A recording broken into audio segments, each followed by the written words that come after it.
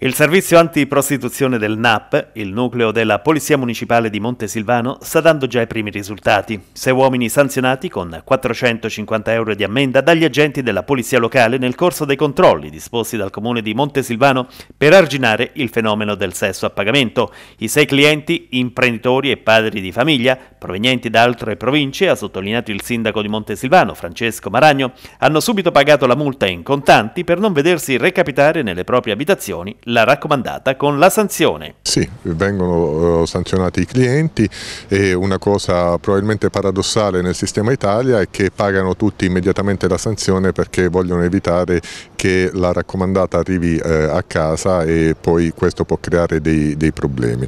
Eh, riteniamo che sia l'unica strada, per tanto tempo, per troppo tempo abbiamo sopportato questo, questo sistema, non lo possiamo più fare perché va a ledere la sicurezza dei nostri cittadini, l'immagine l'immagine della città, il decoro della città e ricordiamo che noi siamo la città maggiormente attrattiva dal punto di vista turistico di tutta la regione Abruzzo, non ce lo possiamo permettere. Già si vedono i primi risultati signor Sindaco?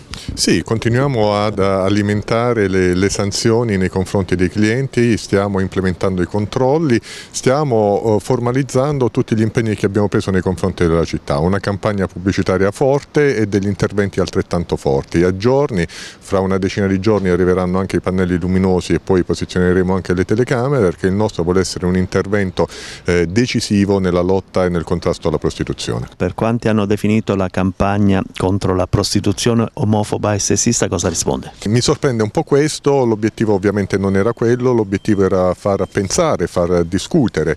Eh, mi dispiace che chi si indigna magari sono le stesse persone che non hanno mai mosso un dito nei confronti della piaga della prostituzione oppure che quando vedono le prostitute a volte anche anche minorenni girano la testa dall'altro lato. Sapevamo che questa campagna mediatica avrebbe suscitato dello scalpore e con la consapevolezza che però probabilmente avrebbe ehm, colpito le coscienze e fatto meditare i tanti uomini in, in cerca di emozioni forti.